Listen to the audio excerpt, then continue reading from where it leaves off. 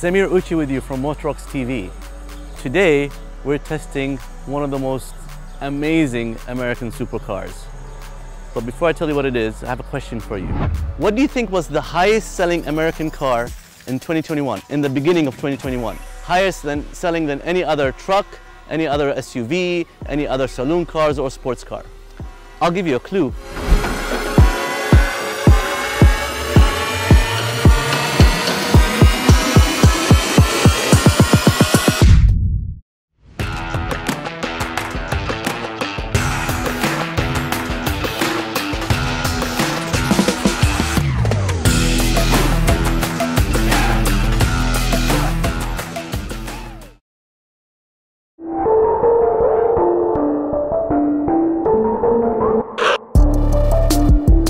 We have here is the 2021 Corvette C8. This is a 2LT.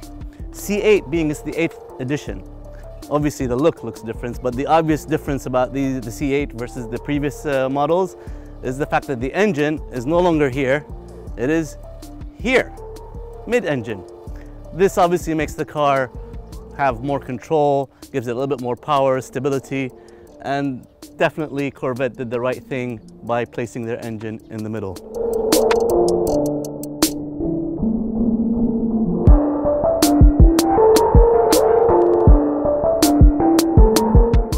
Obviously the body is different and it's really stunning. I mean, it just, uh, you know, it has these, it just puts everything, dips down into the center and points forward. It has a beautiful, beautiful frontage. It's not low, it still is high, which is excellent, especially for a supercar. When it comes to the back, exactly the same thing as the front. If you see over here, it just all dips down all the way to the middle. Gives it that amazing aerodynamic feel, stunning bodywork. I love the dual exhausts. I love how everything is positioned. I don't want to say this in a negative way, but it doesn't look Corvette which is good and bad. It's bad because Corvettes are beautiful looking car. It's also good because it also gave it that, you know, put it on a different caliber altogether. I love these um, air ducts because the engine is in the middle now, so the air has to go in, cool it, and then come out of here. Really stunning. And if you see it convertible, it's even more stunning.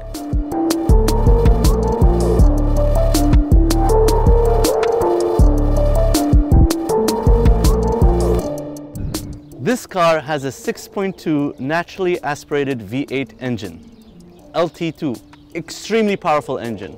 This gives out about 500 horsepower and about 460, 470 torque per pound, making it very versatile, very powerful, very, very fast. And it's naturally aspirated, which is definitely a plus. And this is made possible with the 8-speed Tremec dual clutch automatic transmission. That transmission with this engine gives you some serious power and serious control.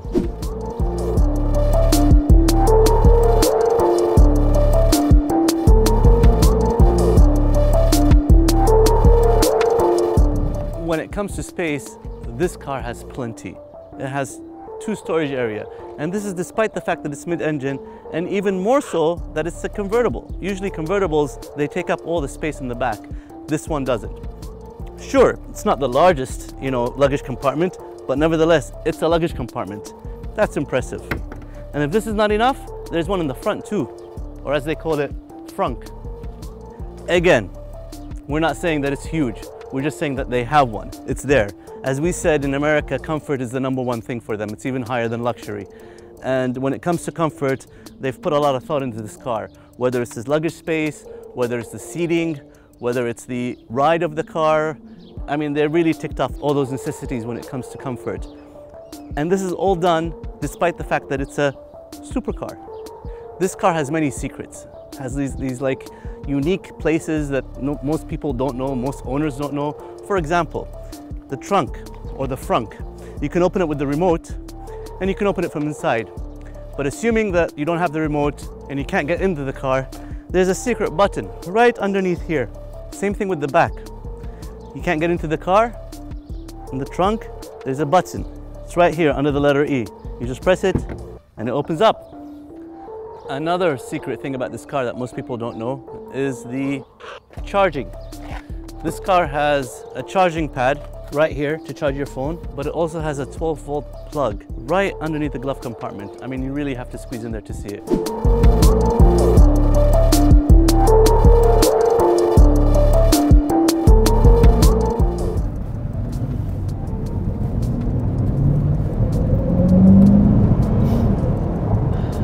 I love the sound of the car. I love the sound of the exhaust. It's so American. Even the sound of the exhaust can be customized and configured according to what you want it to be. There's, I mean, certain three settings, but there's also a setting where you can go on the ECU and literally choose the sound of the exhaust that you want it, like a volume of a radio.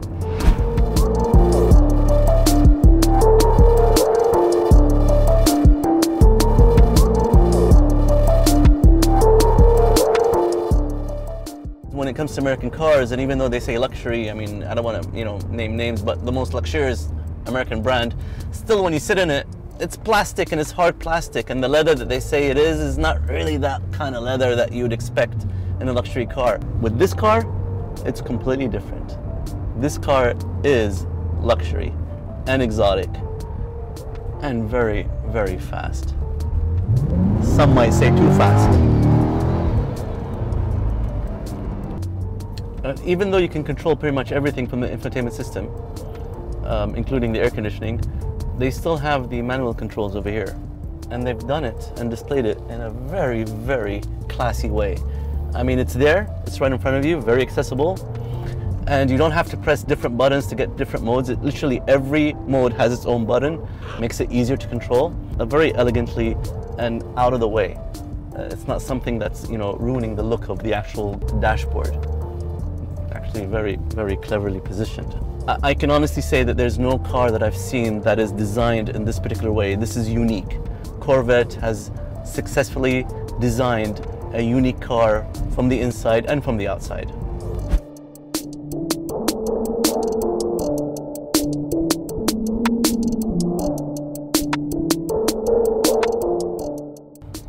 So everything about this car is designed uh, with the uh, track in mind. I mean, they wanted a track car, basically, a road and track car, and they and they got it. They succeeded.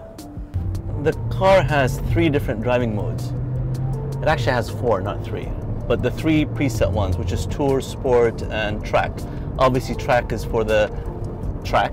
Sport is for just a firmer, sportier ride and then Tour is just a more comfortable uh, day-to-day driving mode. There's also a custom one, which basically you can literally configure every part of this car and have your own customized version of what the car should be like.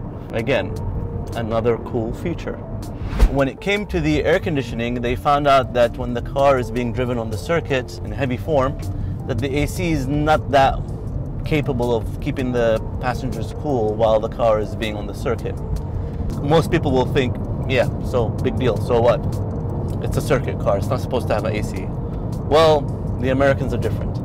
When it comes to the Americans, they luxury is important, but comfort is actually above luxury in America.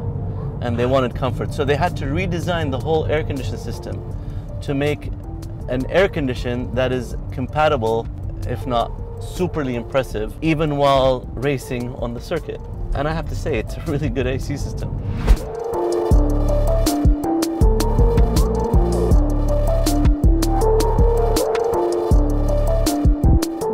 So there are not many uh, convertibles that have a hardtop. This is extremely useful for us here in the Middle East because of the heat. Now, granted, uh, if you have a car like this, you're going to be parking inside the garage, so regardless of what type of material your roof is, but still, uh, while you're driving out, while you're parking the car out, having a hardtop is definitely a plus. I know a lot of people that actually, when they're looking for convertibles, they're looking for hardtop convertibles, not soft convertibles. So I think Chevrolet, more specifically Corvette, heard what people want and gave them what they want. And it's super impressive when you open it and close it. Let's see that.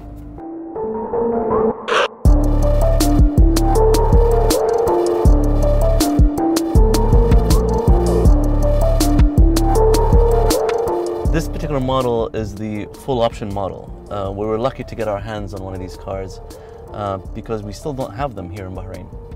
The actual owner of this car had to import it himself and I think he did an amazing job of choosing everything for this car. I mean, it really has everything. Beautiful color combination, all the features, overhead display, convertible. I mean, it really does have everything.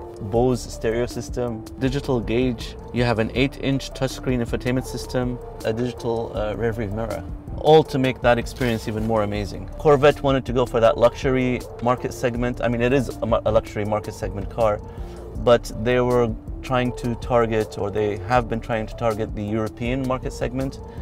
And with this particular model, they achieved that. Hands down, they achieved it, especially with the price. I mean, the Corvette is priced much cheaper than the European cars for the same features and drivability and, and experience.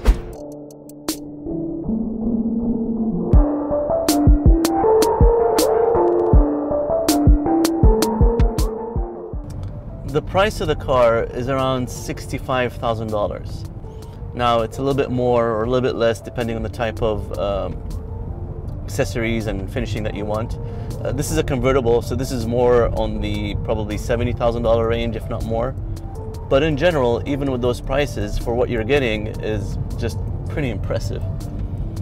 Um, if you're looking at any Lambo or any Porsche or any Ferraris, of the same shape and the same caliber and the same capabilities, you're talking at least $200,000 plus. So this is a third of the price. And that's what the Americans are trying to do. They're trying to compete when it comes to the price.